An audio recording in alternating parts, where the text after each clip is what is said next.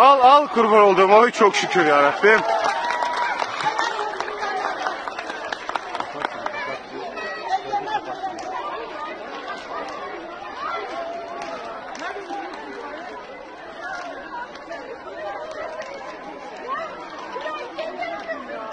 Ben işten geldim evde yatıyordum. Arkadaşım yine koşarak geldi bağırdı camda.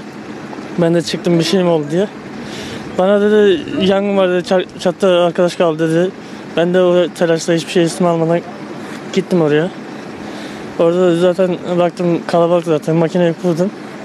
Yukarıya uzattım bir arkadaşı bindirdim sepeti. Yanaştırdık aldık indirdik. Başka bir Sen geldiğinde yani itfaiye gelmemişti herhalde değil mi Yok daha? yok. Ben tam indirdim. Arabayı toplamaya çalışırken itfaiyeler geldi. Ben çıktım itfaiye yapıştı yanaş oraya. Çocuk tam mahsur kalmıştı. Tam, Evet, tam köşedeydi, ucdaydı. Ucdaydı, çatının tam ucunda. Alevler vardı herhalde. Ya, Önce dumanlar vardı benim uzattığımda. Çocuğu al, almaya yakın alevler çıkmaya başladı. Çocuğu aldım. Uzaklaştıktan sonra alevler çoğalmaya başladı. Peki o an sana bir şey söyledi mi ya da bir konuşma geçti mi aranızda? Yok ben hiç şey yapmadım. Çocuğu indirdim, aldılar çocuğu. Ben topladım itfaiye geliyor diye. İleride bekledim. Ondan sonra itfaiye geldi, müdahale ettim.